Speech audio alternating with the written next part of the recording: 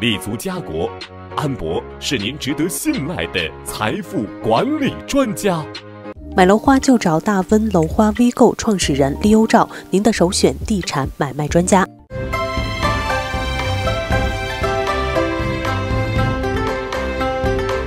Citizen 限时优惠，二十二个月内分期付款百分之十五，Metro Town 置业首选。观众朋友们，大家好，今天是温哥华时间二月二十六日，欢迎收看第二期的港闻播报，我是 Jennifer。加拿大阿尔伯塔省女省长丹尼尔·史密斯似乎铁了心要与总理特鲁多硬刚到底。近日，史密斯在一次新闻采访时公开表示，虽然他更愿意与特鲁多合作，但如果有必要，他会战斗。史密斯称，他认为特鲁多已经开始通过抨击阿尔伯塔省来为下一次选举竞选。在这种情况下，他向特鲁多宣称：“特鲁多，你有种就现在举行选举，加拿大人可以决定他们是喜欢联邦与省的对抗还是合作。”史密斯的一番言论瞬间引爆社会舆论，不少网民对史密斯表示支持与赞赏。其他省份的人正成群结队地搬到阿尔伯塔省，因为他们在这里拿到了比加拿大其他地方更光明的未来。聪明人正在做出对的选择。特鲁多肯定惧怕了史密斯，来了阿尔伯塔省都不敢与他见面。我爱史密斯，他在每一个节点都胜过特鲁多。事实上，特鲁多与史密斯的矛盾由来已久，且节节升级。史密斯长期以来批评特鲁多的政府，称其不是一个真正的国家政府。史密斯他还指责特鲁多试图摧毁该省的石油和天然气行业。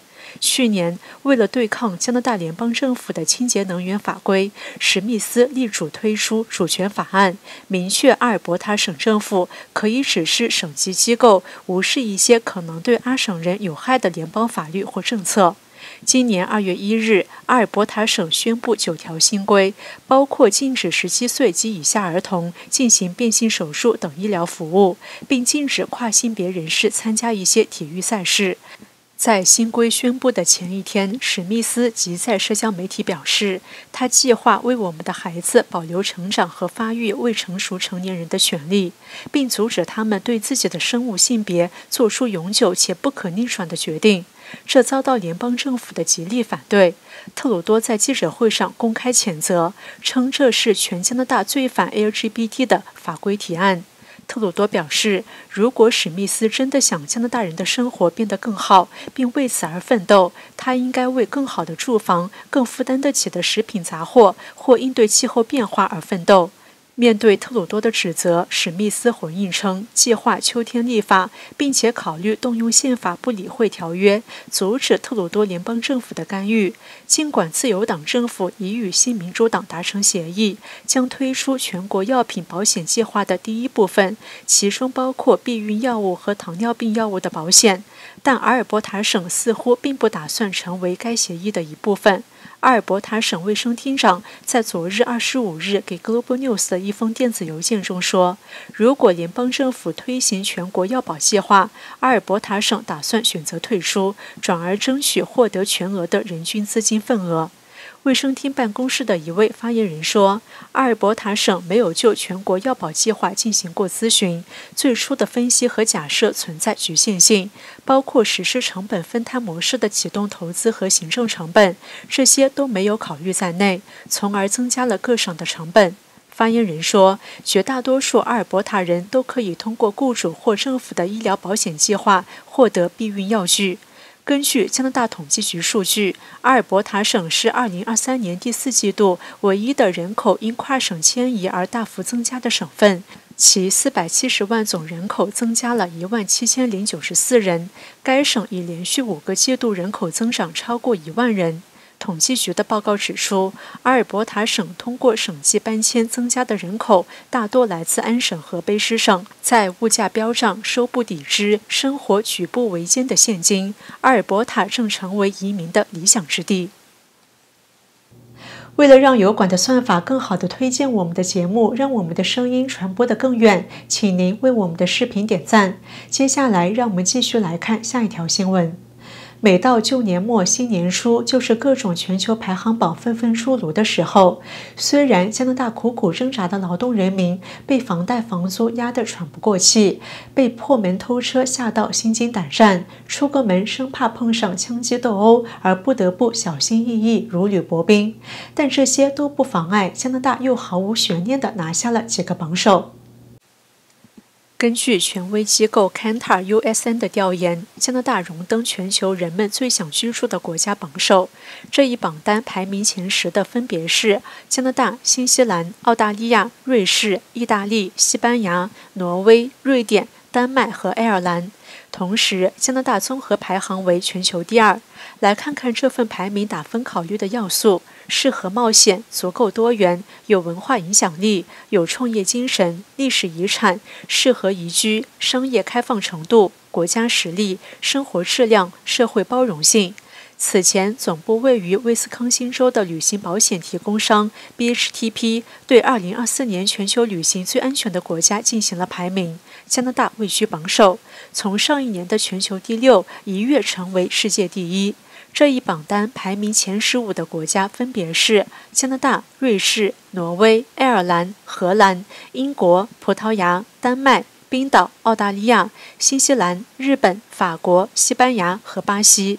BHTP 的报告写道：“安全目的地的定义随着时间的推移会不断发生变化。根据我们的研究，早些年安全之地的定义是基本上没有恐怖活动的地方。后来这个定义变成一个没有疾病爆发的地方。现在我们认为，一个安全的目的地应当是所有类型的人都可以自由行动、不受歧视或骚扰的地方。”考虑到这一不断变化的定义，PHTP 对旅行者进行了调查，询问他们在过去五年中去过哪里，以及他们认为什么是安全的目的地。PHTP 的报告使用以下维度对最安全旅行国家进行总体排名，它们分别是：一、远离暴力犯罪的安全；二、远离恐怖主义的安全；三、运输安全；四、健康措施；五、团体安全。这当中包括女性、有色人种旅行者和 LGBTQ 旅行者。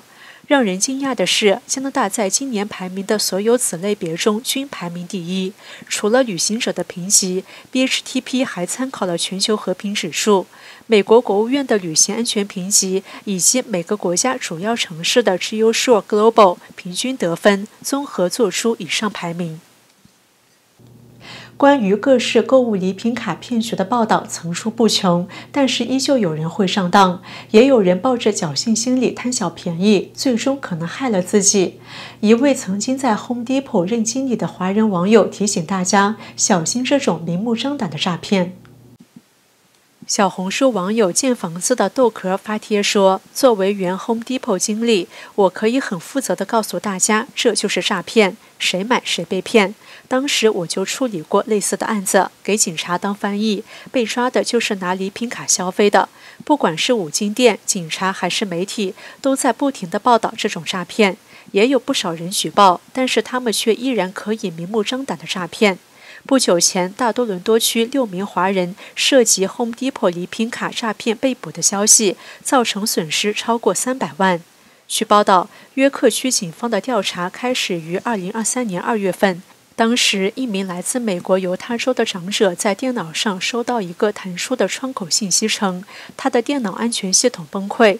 于是，受害者按照上面提示的电话号码拨了过去，并按照指示购买了价值两万两千元的 Home Depot 礼品卡。在买下这些卡之后，受害人又把卡上的序列号提供给嫌疑人。经调查后发现，这些卡在万锦市一家商店被兑换。在 Home Depot 的协助下，美国联邦调查局约克区警局经济犯罪调查组联合找到了超过五十名被确认的受害者。他们来自美国各地，而且都落入了同一伙嫌疑人的骗局。受害者们购买的所有礼品卡都已经被大多伦多地区一些承包商兑换，购买金额超过三百万元。在二零二三年九月到十一月期间，调查人员开出搜查令，到万景和多伦多市的五个地点搜查，共查获了大约价值六十万元的 Home Depot 商品，以及六万七千元未使用的 Home Depot 商店积分。六名被逮捕人员均为男性。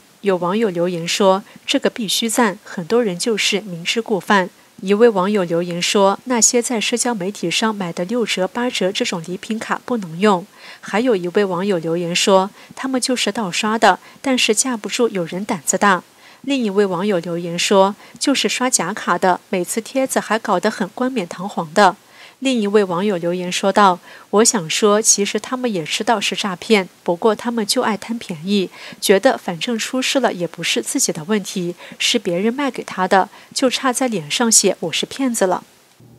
以上就是今天港闻播报的所有内容，感谢您的收看。如果您喜欢我们的节目，请点击屏幕右下方订阅我们频道，同时也欢迎您点赞、转发、分享我们的视频。我们下期节目再见。